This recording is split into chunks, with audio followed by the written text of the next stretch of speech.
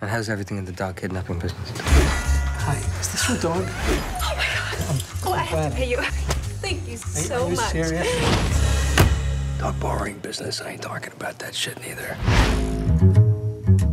Mr. Costello, please don't hurt me. Where were you walking him, Charisse? You love your dog so much, Mr. Costello, when you're such an angry type person. You just think it was my fault and drag me back here and tie me up and kill me. Yeah, that was uh, pretty good. Yeah. I always loved Bonnie like he was my own child. One, I do not want that image in my head. Two, could you go get my fucking dog back? What the hell happened? Some punks jumped us. Who are you? Said they were looking for a little shih tzu.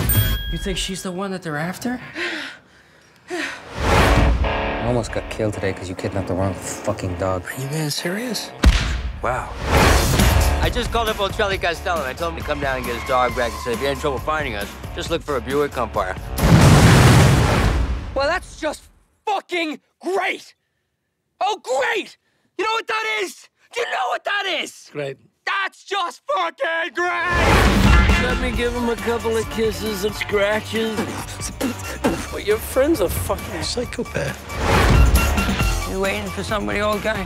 My name is Zachariah Rigby. I left a message on Billy's telephone. Were you screaming about eating my heart off the tray and then shitting on it? Uh, no, no, I, I wouldn't do that. Okay, you seem normal. Come on in. We gotta get this dog off the street because it's kidnapped from a maniac. Dandy. I think we should go to the cops. Fuck the cops. Yeah. Fuck them. No fucking cops.